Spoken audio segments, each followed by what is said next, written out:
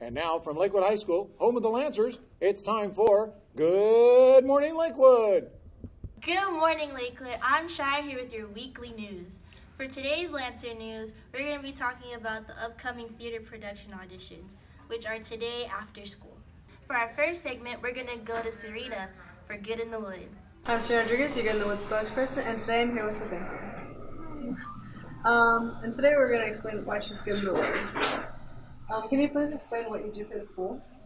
Uh, as the ASB banker, I receive all the money that students need to pay for things like winter formal tickets, if they want to go to the uh, drama performances, graduation, things like that. I also pay all the bills for officials for all the sports.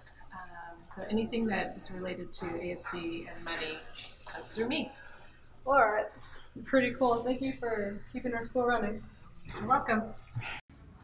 Thanks, Sarita. Now we're going to go to Sophia for sports.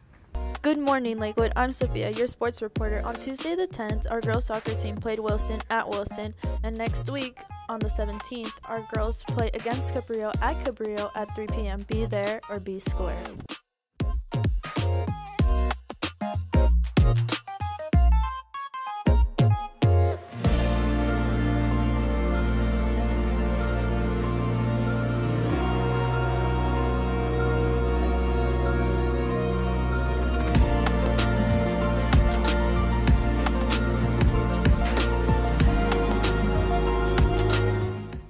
Thank you, Sophia.